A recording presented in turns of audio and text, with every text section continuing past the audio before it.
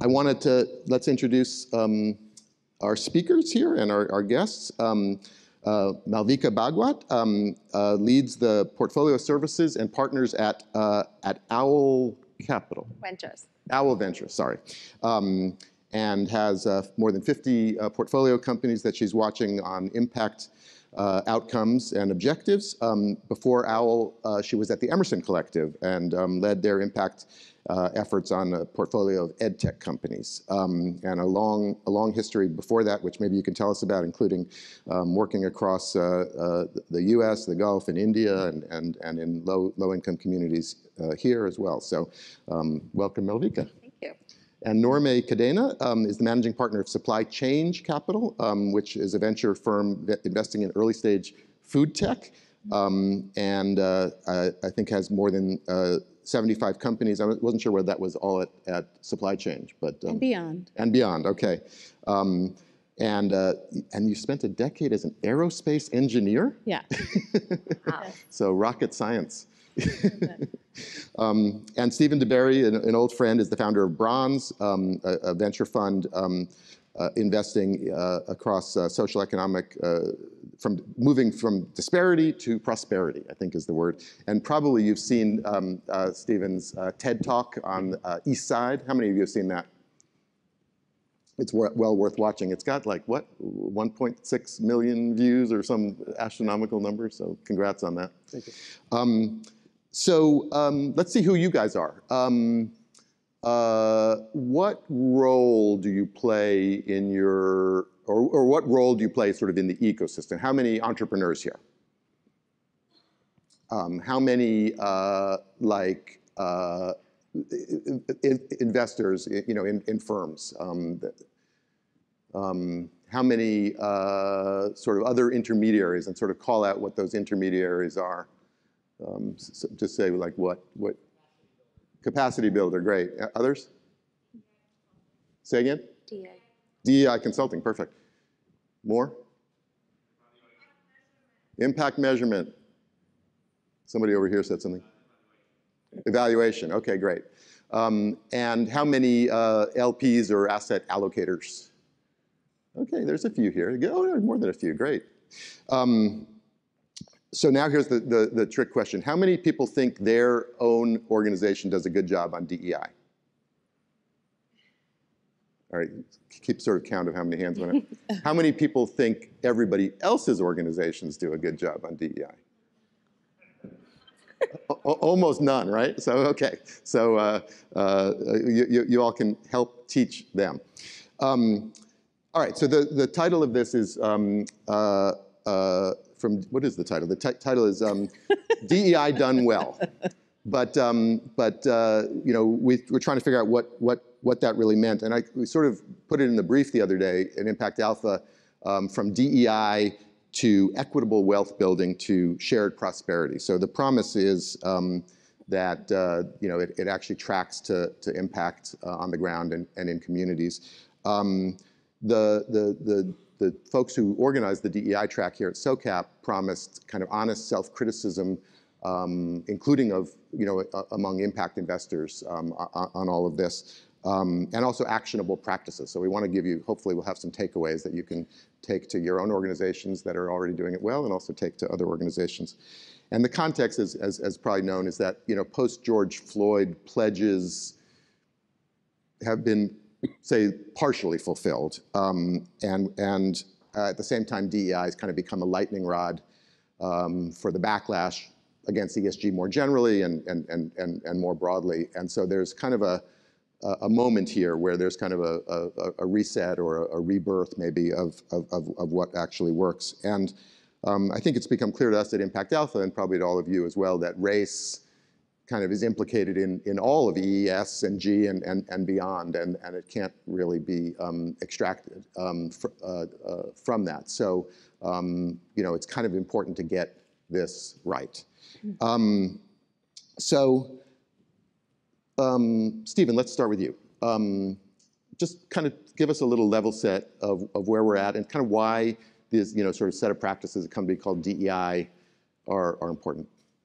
Yeah, um, first of all, thanks for having me. I'm really glad to be here. Um, And I want to start by um, setting some context, which is that uh, I'm here now after declining several um, offers to be part of this conversation, specifically here at SOCAP. Um, and that's because I have a very long arc with SOCAP. I was at the very first conference. I've seen basically all the undulations over time. And there was a session, not unlike this one, about DEI. This is long, long, long before George Floyd moment. Um, and uh, I was, as was often the case then, like the person of color in the conversation. And of course, they went to me and said, Well, what are you going to do about this DEI um, situation? Um, and that's when I just said, Nothing. I'm not going to do a damn thing. The question is, what are you going to do? The rest of the audience. Um, and so I've been a supportive observer since then. Um, but I'm back now because I think, at least in some way, we've come full circle.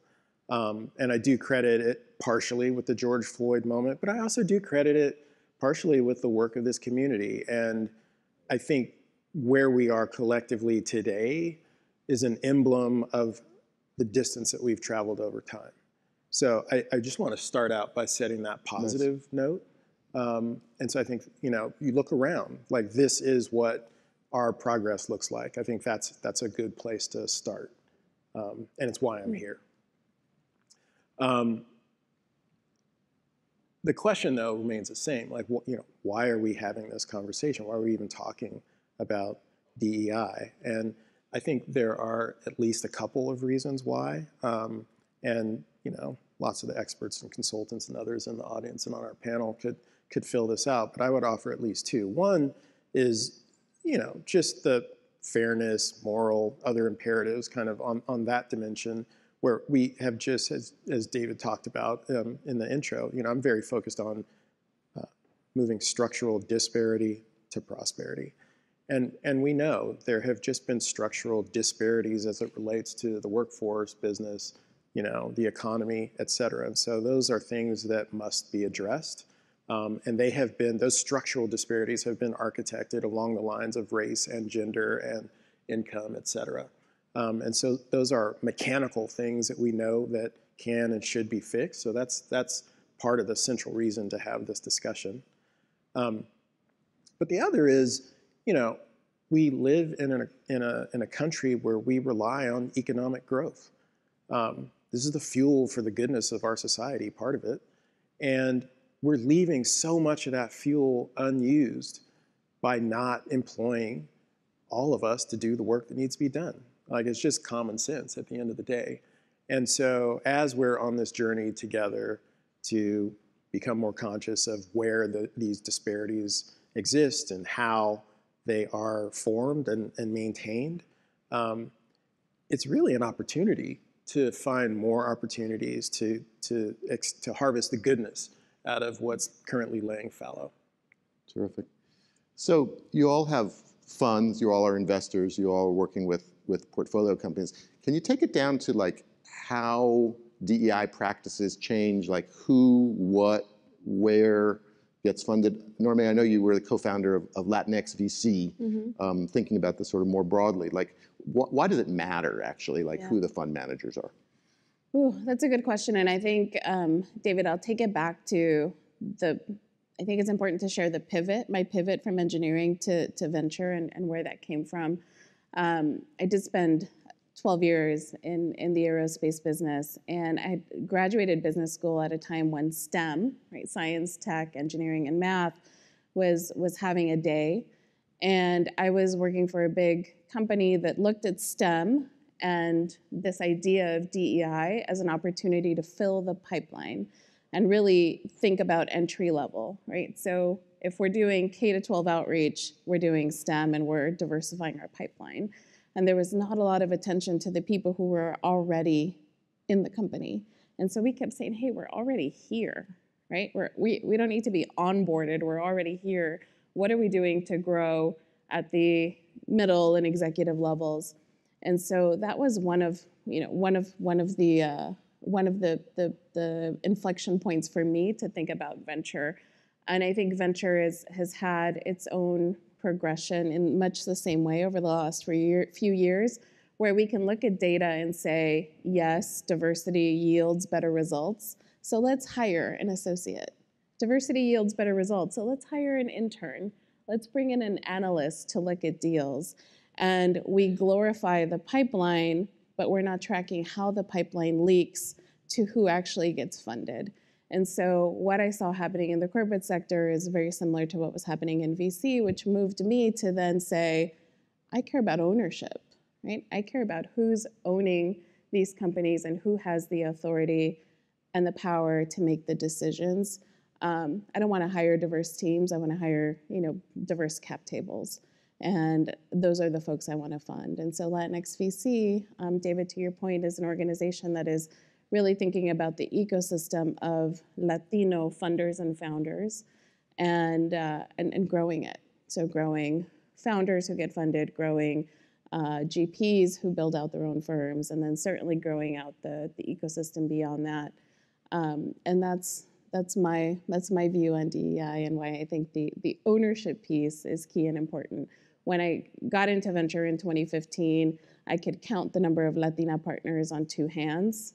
Um, now we could probably count them on all our hands, right? so it's been eight years, and there's been a lot of growth, but it's not it's not exponential growth. Mm-hmm. It hasn't been um, that we we've yet to reach the the big J curve.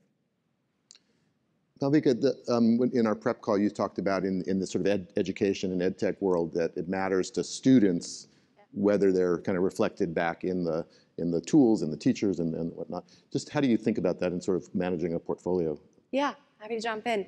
Uh, so just as context, Owl Ventures is the largest edtech focused VC fund globally. So we invest only in edtech companies across K-12, post-secondary, and workforce, but on a global context. And I think what he said is 100% why we focus on DEI in two different buckets, right? So one, we think about students at the end of the day need, and there's tons of research on this, students need to see themselves reflected in the educators that are teaching them. And by extension, the folks that are building products for these students need to also come from diverse backgrounds, diverse mindsets. Otherwise, that diversity is just not going to get reflected in the ed tech that we're putting out into the world. And so for us, when we think about DEI, we think about it in two buckets. Uh, and we publish a report every year. The new one's going to come out next week, so you're welcome to go see it. But um, one is at the founders, at the company level. So at the company level, we look at founder data, board member data, as well as C-suite leadership data. And that's much to your point about who's owning and making these decisions. So we don't really track staff member data as much at our portfolio companies just because we know we're probably going to have lesser impact on some of those hiring decisions compared to the next C-suite member that's going to come in or the next board member that's going to get appointed. And we have initiatives, which I'm happy to talk about separately. But then we also track DEI data in terms of who what audience our portfolio companies is serving, not just in terms of scale, but also Title I students, ELL students, free and reduced lunch populations, students of color, learners of color, gender, all these different metrics wherever possible. Because while in the US context, race is certainly front and center, when you take the same conversation to Asia or to LATAM, or any other parts, um, gender becomes front and center or religion becomes front and center. There are different metrics that matter. And so we kind of extrapolate what DEI looks like in different contexts and then track qualitative and quantitative metrics across the spectrum. Sure, go ahead. I just want to, I really want to point to something that Malvika is talking about because I'm not sure that it translates for everyone, but it's really important. And that is the way that um, diversity, of teams and particularly product teams um, flows through to product experience and the impact that it has on folks. I just want to share an example that has nothing to do with impact, but it just illustrates the product um, point. So uh, I have this really cool watch here. Um, it is a Garmin watch. Um, it has all sorts of fancy, like, you know, smarts it in it. It is pretty cool. Um, yeah, like right, it has all this data and everything, really cool. Um, one of the, it's, it's, a, it's a dive watch. And so one of the things, it can do two things that are really cool. Um, one is I'm a diver. When I dive, it'll tell me how much air is left in my tank. Um, It also So you want it to be accurate. you want it to be accurate, right? Um, it also measures um, O2 sat, oxygen saturation. So during the pandemic, a watch like this was very useful in uh, signaling if someone had COVID, because when you have COVID, your oxygen saturation goes down. Now, the thing is, this watch is inaccurate for me because I have brown skin. So my O2 sat readings aren't like everyone else's.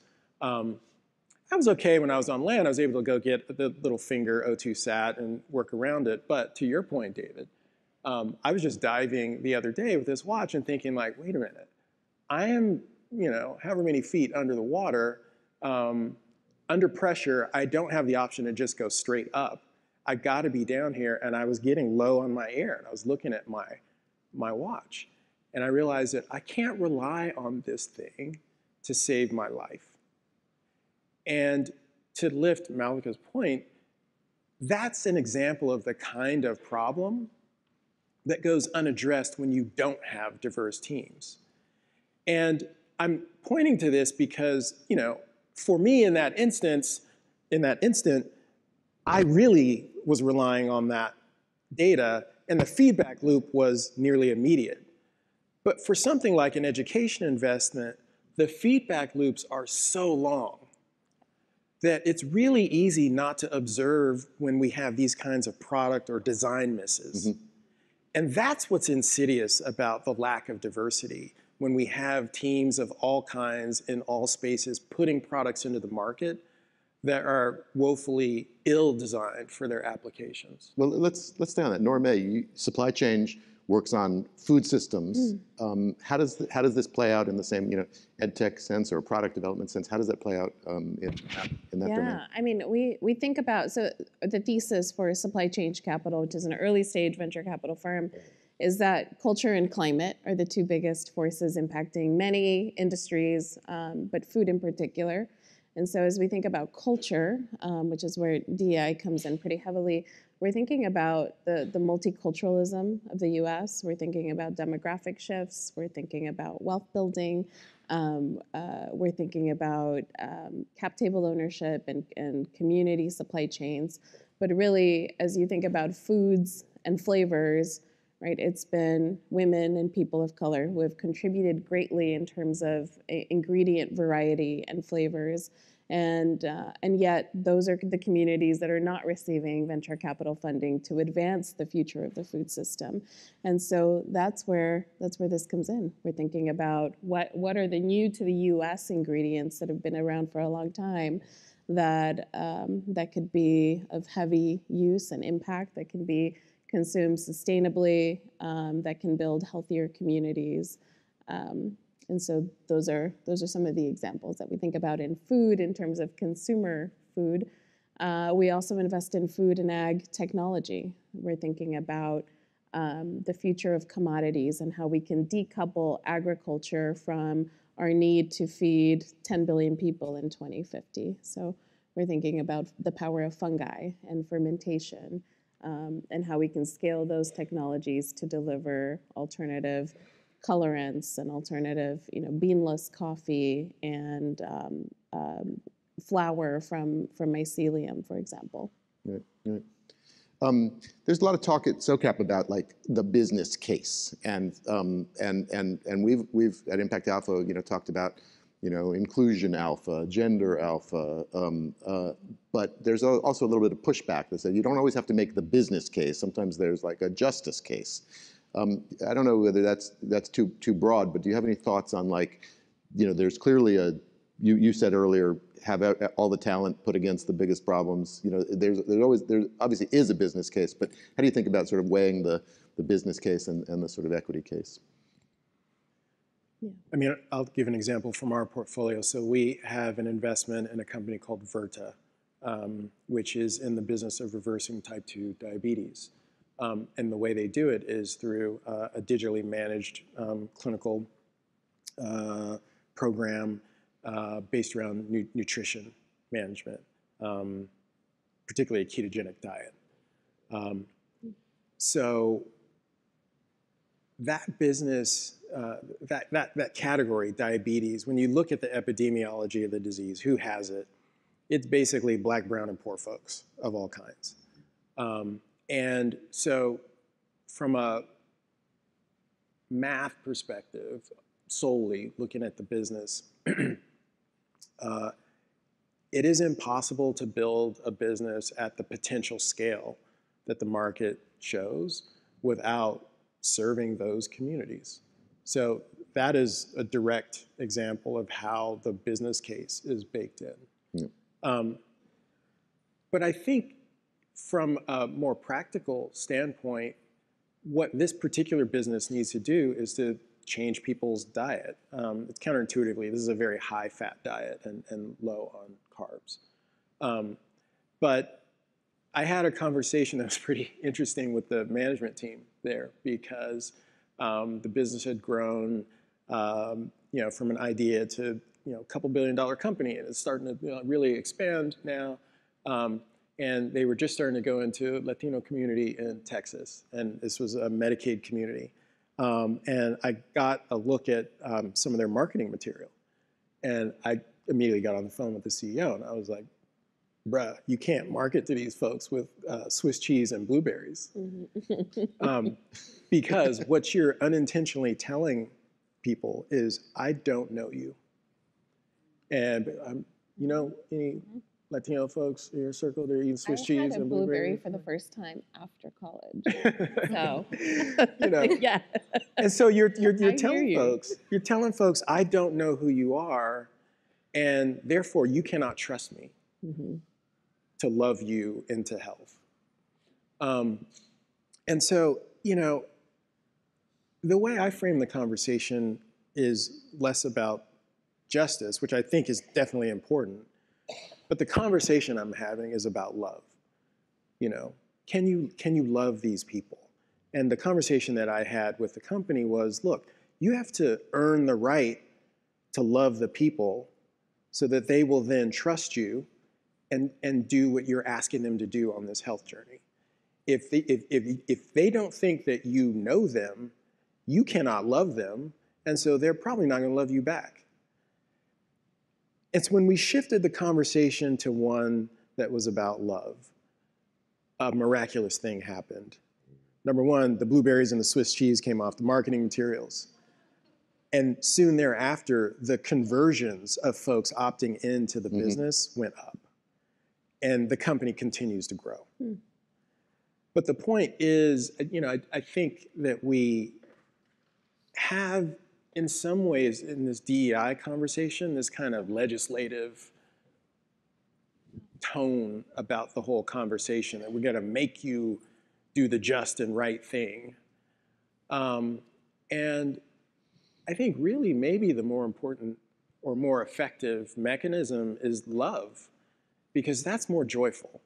You know, when you can connect with people over the food that they're eating and you actually feel seen, you feel understood, you feel part of, that feels good for everybody. And it's actually accretive. It's the thing that drives growth.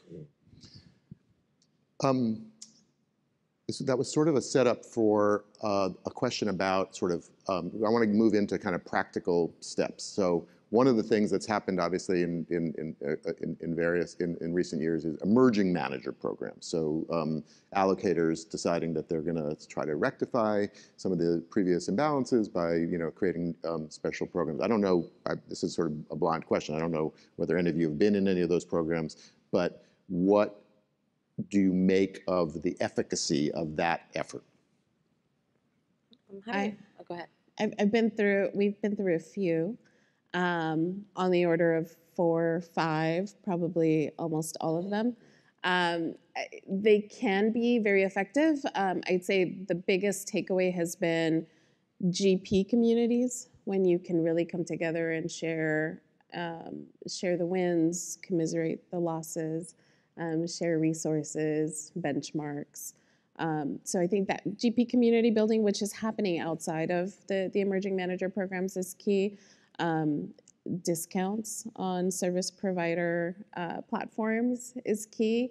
And then I think the the what really blows the emerging manager programs out of the water is when you can provide grant capital. And one good example of that is the Recast Accelerate program, which is providing 100K grants to female GPs, and they've just announced the first 32. We were we were one of those. Um, that is operating capital that can really bridge the gap during what ends up being a very long fundraising period, right? The the usual 18 month fundraising period goes to 24 months or even 36 months if you're a woman or a woman of color. Um, in in I mean, from my lived experience, it took us. Uh, I think it was 25 months from first close to final close. And so that operating capital gap, par- particularly if you have children, if you're a breadwinner, um, makes a really big difference. So for any allocators in the room interested in creating an emerging manager program, discounts uh, on, on service provider uh, services and uh, grant capital, the GP community, those are the, the, the best takeaways. Stephen? You want to weigh in? Yeah, I mean, just just an observation um, we talked about earlier, which is that we um, use the term emerging manager, but I feel like that is a term that's complicated in the in a similar way as the term impact. You all know what I mean. Like you say impact, and there are 20 different interpretations of what that means, and so we have a nomenclature problem there, and with the, the term emerging manager, because uh, for some in the capital market, emerging manager means something like you're less than half a billion dollars and, and, and younger than three years old as a firm. Um, and you know, my bet is if you use the term emerging manager when you walk out of this hall, um, and that folks would, you know, assume that you mean something having to do with this conversation and creating more diversity. Um, and, and those two get conflated practically in the marketplace. And so there's a lot of, um, you know, what you want is an efficient capital market where folks who are trying to build find the resources that they need to build in an efficient way. And so you know who to talk to, when, under what terms, et cetera. And right now we have a lot of, um, uh, you know, market actors bumping into each other and not intersecting and not being able to transact because there's a lot of wasted time and energy on um, misaligned conversations, misaligned expectations. So that's one of the you know practical challenges that we have with this Right. whole emerging manager category. Right, right. Um, I think some of you, um, uh, again, this was not planned, but um, have are uh, have Illumin Capital as your as an LP in your in your funds, and and they have a program that they help managers run through to bring up raise up their their practices. Are- are- Owl is one as well. Um, is is that an effective you know LP sort of involvement? Um, is that an effective uh, tool? so. Yeah. Uh, yeah, I, I- think so. I think um, Illumin has definitely been one of the more uh, has been one of our LPs that's more on the forefront of this conversation when it comes to sort of DEI and sort of taking away uh, racial bias from conversations when it comes to deploying capital. Um, I think what it does is, and I believe this across all different aspects, is it gives you the language to name what the problem is. One, and I think that is really, really important. You need, you can be sitting in a room. I mean, when, and just as an example, when I came to the U.S. 12 years ago now, I never called myself, I call myself an Indian and I call myself a woman. I never call myself a person of color. So I didn't even think that problems that were related to people of color applied to me in the US context because I was like, that's a different group. That's not me. Because I, I was not the person of color where I came from. I was just the majority, right? And I think when you have these conversations in large groups as a team of what it means to be a person of color, what it means to have bias, how does bias even show up in these different contexts and conversations in your workplace or with founders and CEOs, you suddenly start seeing a lot more of what your hidden uh, biases are and how do you start tackling them and can start naming them for other people on your team and start finding solutions. And so without that common language, and I think Illumin has been a great thought partner for us and a lot of this stuff is how do we start vetting our pipeline? How do we start vetting our internal practices when we are doing interviews for folks? And I think one of the more concrete things that we've been able to do is add a DEI language even in all our term sheets for our founders and CEOs. One is sort of a mandate on data reporting, but two is also like when they are interviewing for senior roles, that's VP and above, their final interview pool, not their overall interview pool, needs to have at least two women candidates and or people of color. And in some ways, you can say that feels like weird, but in many ways, I think what it does is it diversifies the original pool and it, it takes away the excuse of people saying, oh yeah, but I spoke to like four women up front and they weren't great candidates, right? Like it takes away that excuse from that conversation. And I'm not saying 100% of our portfolio companies are there today, but it's, it steps towards that norm and us then making the commitment that we will help you find the right candidates for your independent board members, for your C-suite leaders, for the VP level to get there. And then it becomes a accountability question across the room and not something that's sitting with one HR manager. And I think that's sort of, I said a lot of things, but I think Illumin has been a good thought partner to a lot of these pieces for us, for sure. But broadly, it's been a good conversation to have with portfolio companies and internally for us. I like these kind of specific, very specific actions. Uh, are there others that are that, that, are working? There's a question here actually. What are some of the best organizational practices and protocols that you've seen across the fields to promote and support DEI? So you can take it broader than Illumin, but what are the like Okay. Yeah. nuts and bolts? I've maybe one Illumin example and then one example from our own fund. And for me, I think at the base level, Illumin brings credibility um, to us uh, because they're a pre 2020 diversity lens investor, right? They've been doing this work for a long time. I've admired their work for a long time. And so this is the kind of by and for the community effort that is that that we respect and we certainly want to be part of. Um, I think we've we're new to the Illumin portfolio, so there will be a lot to gain when it comes from when it comes to bias training and some DEI reporting, um, and and we look forward to that. So I think that will be value to gain. Um, in our own firm, one of the ways in which we standardize um, impact and, and we measure impact is with a, a pre-investment questionnaire. And, and David, back to your, your earlier question, we are a returns first fund that can't help but think about impact in the food system. And so every investment is evaluated on its financial return merit, but also must pass our impact lens. And we think about impact in terms of um, the environment, health, and diversity. And so we we have a screener that is a yes or no, um, you know, yes or no answer a questionnaire, where and we go through and we say, is this, you know, is this team um, is are is the co-founding team BIPOC? Um, uh, is the we think about the cap table, we think about the board, we think about the supplier. So do they have a um, you know a written um, uh, sourcing plan that says they're going to source a certain way. Um, what about the customers and the, the health of the community they're impacting?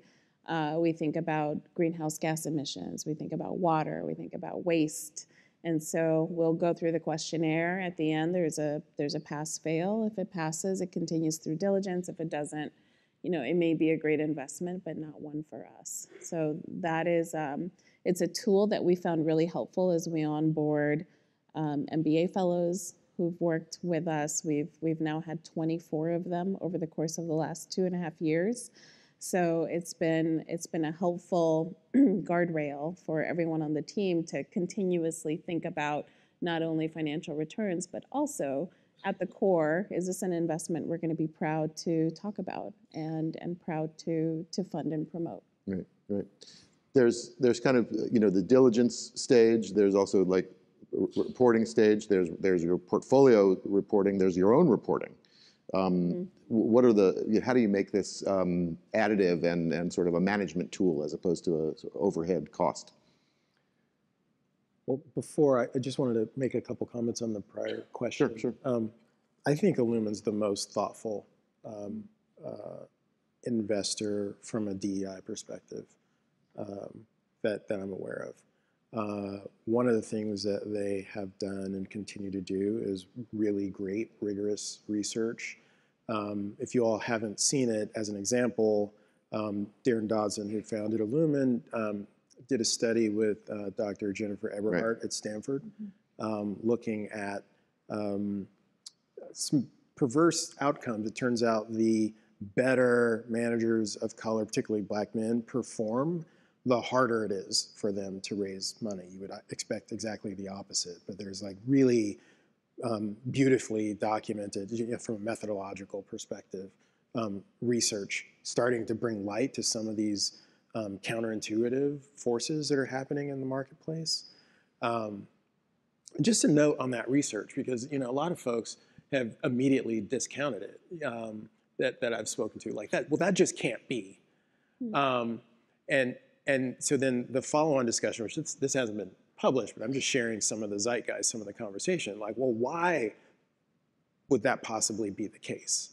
Um, and the, the, the leading hypothesis that I've encountered is that for an individual um, asset allocator, um, to see you know, uh, a new cadre of um, investment managers coming into the market is potentially a threat. Um, because if that community continues to grow, um, that looks like more competition for the job of the allocator. And so in a particular instance, a single investment decision, it might actually be rational for that person to forfeit a little bit of financial performance at a single manager level in order to preserve the structure that keeps that person in place. Um, so that's, you know, that's the kind of important thinking that Illumin is driving with their research. And so I really value that. There's also, I think, a, a, a, some of the findings in that study were like about the implicit bias that, and it goes back to the emerging manager program too, that you can make an initial allocation, that's fine as a sort of performative gesture, but then when you get to a bigger allocation going forward, it becomes, it, it reverts into sort of pattern matching. Yeah. That's that's right, Yeah. and and the knock-on effect of that is it, it sends a negative signal.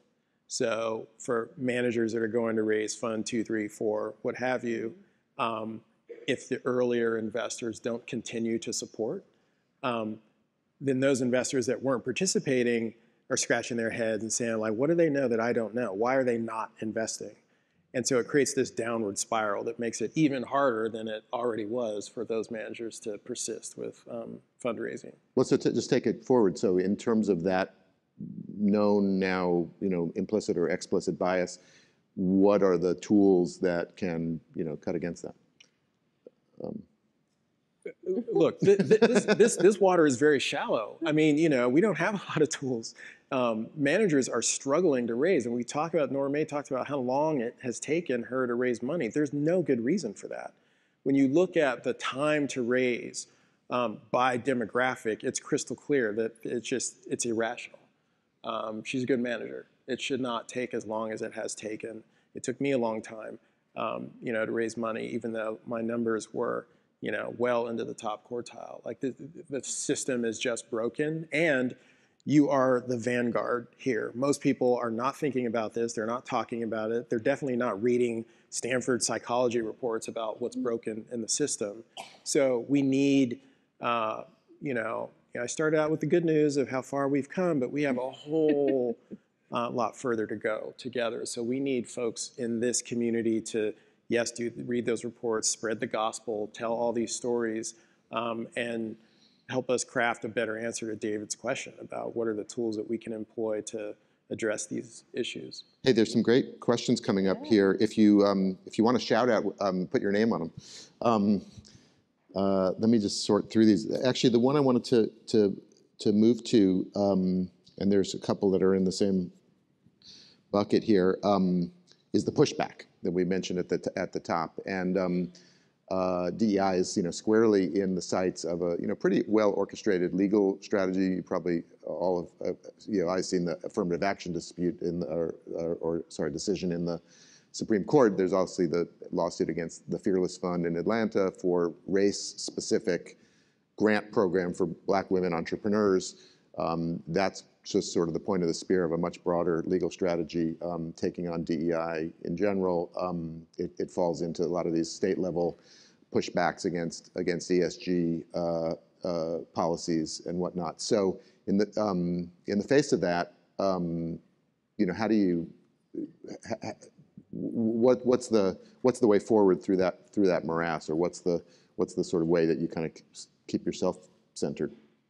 I think for us, it's I think it's often conflated that you can either have impact or you can have business returns. And I think for us, the two are the same. And so, which is why some of this work around equity, access, thinking about learner scale and outcomes, thinking about DEI metrics is so ingrained into the core of what we do because I think it is built into, like, at the end of the day, if our portfolio companies are not serving the free reduced lunch population, Title I students, the ELL students, they're not building for America. They're building for a very niche audience that can already pay, will pay out of pocket, and it's a very small TAM. Like if you just want to talk numbers, that's what it looks like. And so when the two are in, interrelated in a way that your business metrics have to align to the equity metrics that you're tracking, and unless you're tracking them, you don't know where they're go- where you're going as a firm or as a company. I think that case is really simple. I think where it gets tricky to your point is when you start doing some of these more initiatives or efforts that are optic driven. And I think the fear around the optics based DEI efforts is real. I mean, I ask my question that all the time when I'm on a panel or when I'm like in, in nominated to be on something is that am I a DEI token in this conversation or is this really going to move the needle in terms of what we're trying to do as a collective group? And I think oftentimes the answer is that it is a DEI token. You're not really actually changing the conversation in any way forward. And I think individually, the more all of us collectively can step out of those rooms, step out of those folks, and other allies can jump in and say, hey, this is like an all male panel, this is an all X panel, and we need to get more people in the room. This is a completely white board of men, which is very true in a lot of our portfolio companies, and somebody else can stand up and say, and I think it goes back to what you're saying, we all need to be allies in the work. I think that's the only way to stay grounded and move forward and know when to say yes, but also know when to say no and take a step back. Um, because the more we show up in rooms where there's no value, um, I think we're just perpetuating a cycle of performative DEI, which is not going to move the needle for anybody across all spaces. For me, I think it goes back to uh, blueberries and Swiss cheese. um, I, I'm on the investment committee of the Acumen America mm-hmm. Fund, which invests uh, uh, also with a lens for impact. And I remember reviewing a company not too long ago that was um, seeking to increase the, the population of, of people receiving Medicaid. And the, the founders realized that if they, if they hit the ground with, at, at uh, laundromats, they could capture the population they were seeking. And so it was, it was just so cool to hear that pitch and to think through how important it is that you have the, the level of authenticity and, and the experience to know where to go and how to, how to, um, how to reach um, certain folks. So for us, as Supply Change Capital, we, my business partner Shayna and I, we each have 20 years of experience um, working in these communities, right? not only um, did I co-found Latinx VC, but also Latinas in STEM, where I was doing a lot of work bringing more women of color into STEM. Um, she co-founded Chicago Fair Trade and uh, has worked in the nonprofit sector, the corporate sector, venture-backed company. And so we've been in these communities. We didn't set a mandate within our firm that we would invest a certain amount of capital with any single population, but because the the groundwork has been has been set and we're we're authentically operating within it, that yields that diverse deal flow. Three quarters of the deals we've seen since we started the firm in late 2020 um, have come from women and people of color, and that has not changed throughout the pipeline. It, those are the same people we're investing in at the end of the process. And so for me, this this pushback is really really goes down to who who you are, your own values, and the the the work that you've that you've seeded, um, and not um, and staying true to to that because founders are attracted to that, just like we're attracted to allocators like Illumin, like Impact Seat, who I see in the audience, um, who have been doing the work um, for a long time. Founders are are are just as attracted to um, investors who they know have done the work.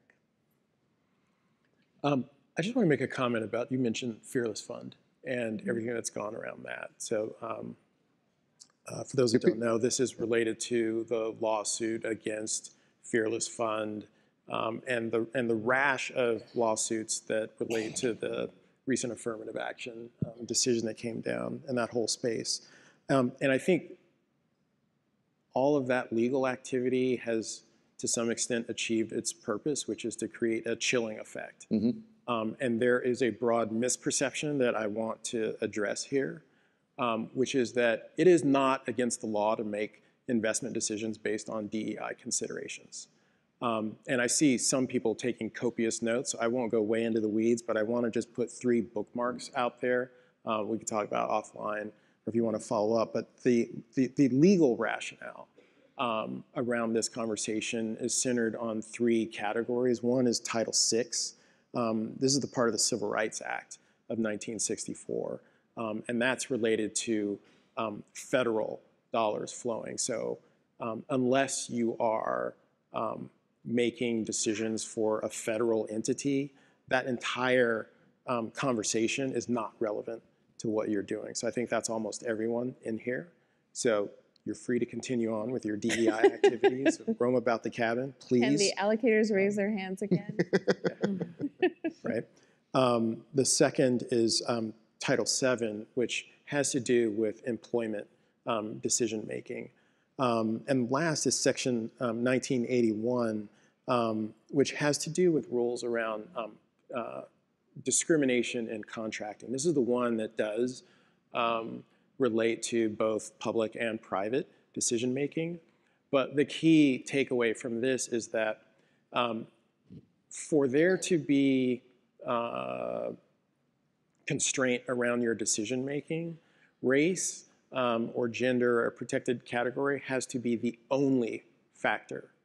Um, so if you are making an investment decision, um, there are several factors. What's a team? What's a market size? What are the, you know the number of things that you may consider to make that decision? Um, race can be one of those for sure. Um, the, the legal test there is the but for test. If you know, but for this protected category, you certainly would have made a different decision. That could be an, an issue. But again, if you're considering a range of issues, um, you are free to do your business as you have been doing. So again, please spread the gospel that we are free to make our investment decisions. We are free to um, consider DEI considerations because there is a mass misunderstanding in the wake of these um, recent uh, lawsuits. Good, thank you for that. Um, so these are questions from the audience, and this is risks a, a, little bit conflating a few things, so apologize for that. But um, in the kind of broader inclusion bucket, there's a question about um, disability, the world's largest minority, the world's most diverse minority, and the only minority group anyone can join at any moment in their lives. Um, as impact investors, what can we do to better make sure disability community is no longer an afterthought of DEI? And, and then um, uh, what are practical examples um, that can raise um, uh, visibility and, and, and, reduce the inequality in indigenous communities? Um, how do we increase the 2% of funding? Um, how do we increase the 2% of funding that goes to indigenous communities and businesses? Um, and kind of in the same, in the same, in the same vein, um, is there an over-reliance on having diverse teams be the answer to solve DEI programs? Um, individuals may not have DEI values, quote unquote, themselves. Um, and there are also structures um, that are not built to allow teams to embed the values. So um, I guess it's a broad, a broad inclusion question and how do, how do people, actual individuals, kind of show up and, and, and be, and be, uh, be part of the solution? Hmm, it's a big one. There's a lot there. There's a lot there. split it up, or there's a, there's a lot. is it, you can take it. You don't have to take all of it. You know, is, is there a have, have you have you have we thought about disability enough? I know there's some panels, you know, other panels in the in the track and and and and announcements yesterday. We actually had um, an announcement of an investment in a in a fund called Enable Ventures in the brief this morning. Amazing. I mean, you know, um, the disability community is one of those protected classes that I was just talking about. So absolutely, it's in some ways already embedded in. But I think to the point of the question, it's it's um, maybe less part of the public, you know, consciousness. Um, but I think the, the, the exact same thinking applies that we talked about earlier in the product context. You know, you're just you're just missing out um, if you're not factoring these folks in. We have we have a person with disability um, on our team at Bronze, um, for example, and learn a lot and, and get perspectives that we otherwise wouldn't. So yeah, um, definitely should be top of mind, and um, you know, massive market opportunity there as well. Yeah, yeah. Um, other thoughts? I mean, there is a, there is a broader question about um, is, and I, th- I guess it cuts both ways. I- An individual comes in, okay, that ticks some diversity box, perhaps. That person then is somehow maybe supposed to like represent DEI values. I don't know quite who wrote that, but there is a, a point there. Are they supposed to be the champion of something, and or can they, you know, or, or is that a, is that a burden on them as well? I mean, that that's a, something I that probably comes up. start, if that's helpful. I mean, I'll, I'll, I'll speak to this in the context of the work that we do with our portfolio companies on some of this stuff. And so, uh, one of the groups that we convene is HR leaders and chief people officers across our portfolio companies. That's 80 plus portfolio companies globally. Um, and they kind of connect once every two months or three months just to discuss broader issues. But DEI obviously has come up a lot, and DEI efforts within the firm has come up a lot. And I think one of the things that is a recurring theme, theme, which is probably not a surprise to anybody in this room, is that yes, you can hire your chief diversity officer, you can hire your chief people officer, but if the CEO of the firm or the co founders of the firm don't share the same values as this person that you've brought in, the work is not going to happen. And so, um, every time we've had conversations, and I've had conversations with our portfolio companies when it comes to should we start a mentorship program? Should we start a sponsorship program for our people of color within the context of our organization? Should we start doing ERG groups? Should we start celebrating some of these um, different uh, cultural events that are happening or giving them as days off, whatever the policies changes that they're considering? I think the first question around the room is do you have the support of your leadership? And is your is the CEO in the room is the co-founder in the room going to make the same choices that you're going to promote? Because if your role is in isolation none of this is going to work. And so oftentimes the work that we end up doing is leadership readiness with that team of having them sit down and articulate their values, making sure that there is one of the C-suite leaders, and that that's how we're structured internally too. When at OWL we take on any DEI efforts, each of the MDs is required to be part of those working groups. Because again, if they're not in the room um, and if they they don't think it's important enough to move forward, it's never going to be the firm priority. And I think that's sort of one of the ways that I've seen conversations play out around whose role is this, where does this work sit, and of course, I mean, needless to say, the work should never fall on the group that needs the support the most, and that is often a lot of the educating that needs to happen in these conversations as well, where folks will come and say, hey, we have like 15 Asian people in the firm or Latinx people, and we've created a Latinx group for them to go support themselves. And you're like, great, but what are you doing about this? Like, how are you changing this conversation? And we'll get silence, and you're like, okay, then we're not ready for this conversation. We need to take five steps back and figure out what needs to, what else needs to change before you create this group. So I think that's some of the work and conversations that we're having with our portfolio companies, at least. Yeah, yeah.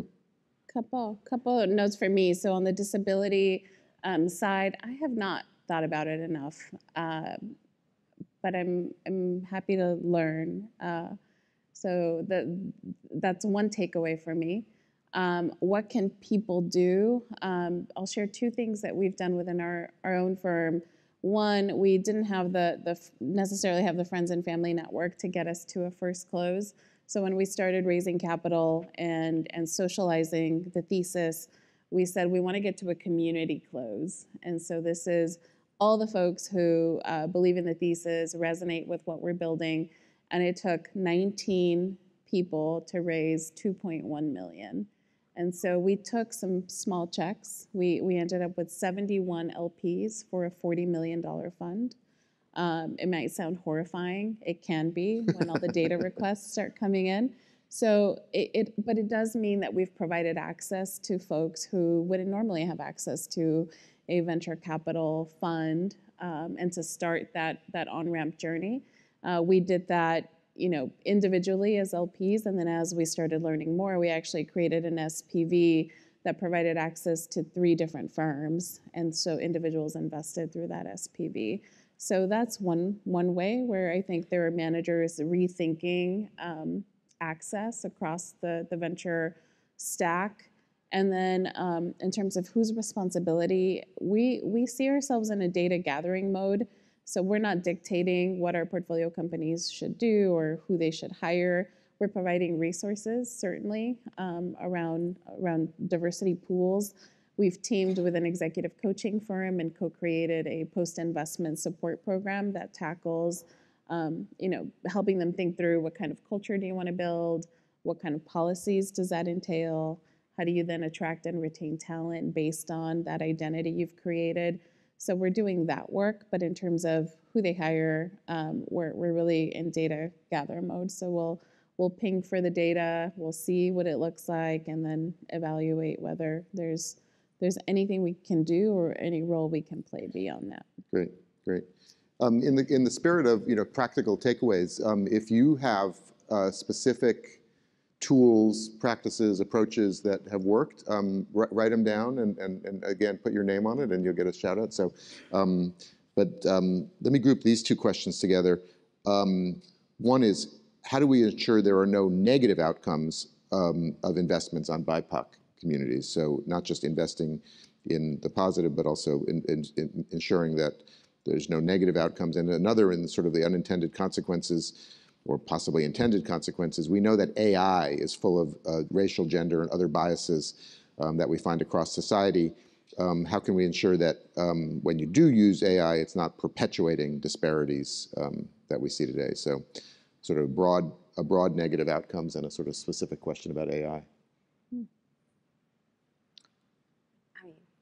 My, my short two-word answer is more investment in R&D and more rapid cycle evaluation um, to test. I, th I think part of the challenge is that we test on certain demographics that are easily accessible and around us as well. Like so when we're doing product feasibility, usability testing, and it goes back, I think, to the product teams that you you are and then who your network is that's all you're testing for and so you're not thinking about some of the other communities as much but i think if we made and i can i can speak to this all day long for anybody that wants to do it but like if we spend more time and more dollars on r&d and more time thinking about r&d in universal communities so not just the one that's closest to you, but all communities that would potentially use your product, I think that'll solve for some of this because the, you learn you learn fast and fail fast. I, I, think it's going to happen that there will be some negative um, learnings in the beginning, but you can rectify from that before you kind of release a product out at scale and then realize when it's being deployed in to 500,000 students or 2 million students that suddenly there are some negative consequences that are happening. So is, it, is there any examples? I mean, I think EdTech would be a good example because it does reach a lot of kids and, and at a vulnerable age as well. In terms of um, negative consequences? Yeah, you don't have to name the company, but just sort of the, the general. Uh, I think we're seeing more of that on the AI side right now, yeah, for sure. Yeah. Uh, I think in the AI side, I mean, the power of AI is clear. I think everybody sort of agrees that AI is here to stay. And I will not be lying when I say that we get pitched close to 100 companies a week that sort of sit at the intersection of AI and ed tech. So it's not even AI plus healthcare, AI plus other tech, AI and ed tech. Yeah. And a lot of these companies are just beautifully packaged cheating com companies or like efficiency companies. And they're marketed as like, we're going to teach your kids how to learn faster, but they're going to learn how to write better. But all it's doing is actually writing for the kids. Mm. And in the absence of thinking of that from a learning perspective or an outcomes perspective, a lot of these companies are getting funded. They might wind down maybe two or three years down the line, but they are going to get deployed in schools because they have the capital to get deployed in schools.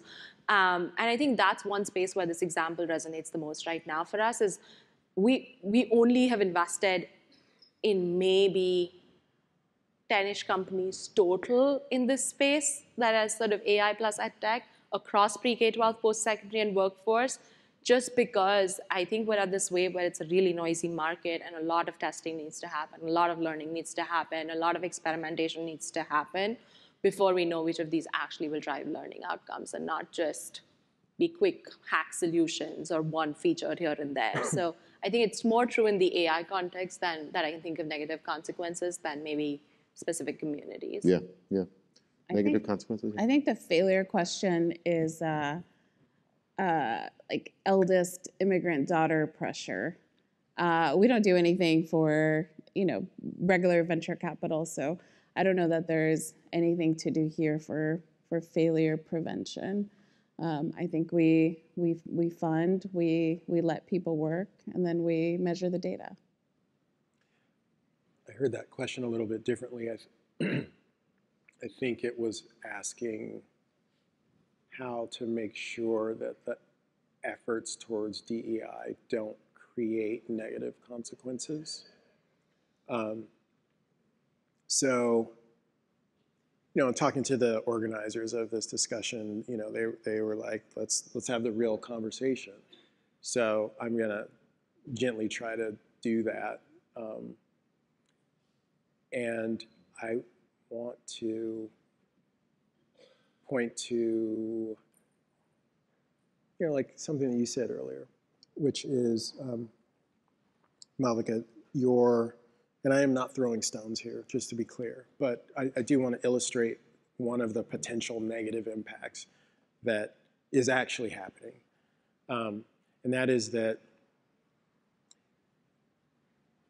the DEI consultants, the folks making decisions as all of these waters swirl, are doing so with at least a couple of different perspectives. One is checking the box, like we've got to get the numbers, you got to show, you know, that you're doing something, um, and you know, the the check the box approach to this work, I think, does create um, negative impacts. So uh, I'll come I'll come to you in a second, Malvika. But as an example, in that um, room that I mentioned at the opening of this conversation, uh, at, a, at an earlier SOCAP, I remember one of the big investment consultants putting up a slide, and they were showing, you know, you know the slide. It's high and to the right, and it's growing, and it was a slide about the number of meetings that they had with um, investors of color.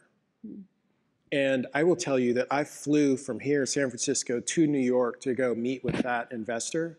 Um, and they came outside their very tall building in New York and met with me on the sidewalk Mm. for maybe 10 minutes and went back inside their building. So that is a, a waste of my time. It is, you know, spouting greenhouse gases for no good reason. You know, like there's all sorts of perverse behavior, which is a, a form of sort of the negativity and the waste in the system. So, so that's no good. In order to create a data point for their chart. Yeah, because they want to go back to tell their LPs that, hey, we're really taking action here. We're meeting with all these folks. We're seeing the market. They're not seeing the market. They're checking boxes, right? So that's a thing that's happening, and that is a negative consequence of this. There's a lot of wasted time, energy, and money, and talent.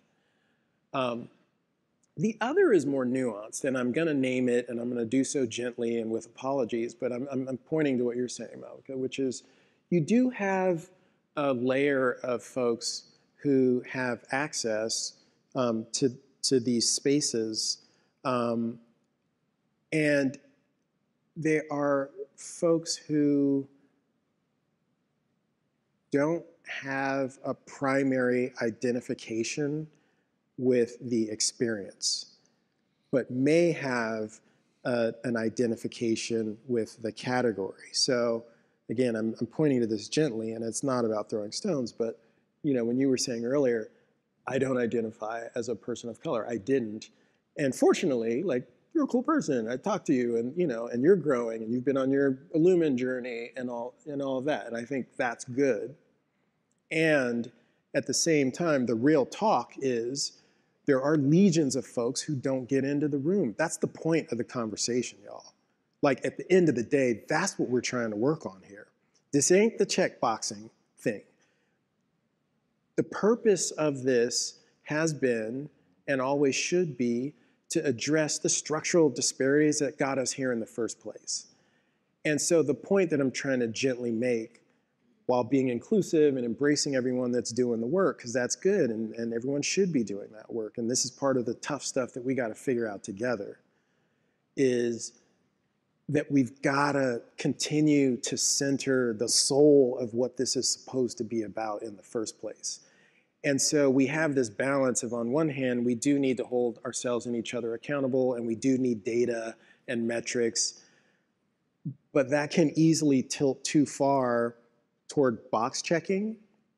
And in the interest of box checking, we overlook the folks who really should be at the center of the conversation. So I hope that point gets across. I'm trying to lay it out as gently and welcomingly and lovingly as possible, but that's, that's what it's about.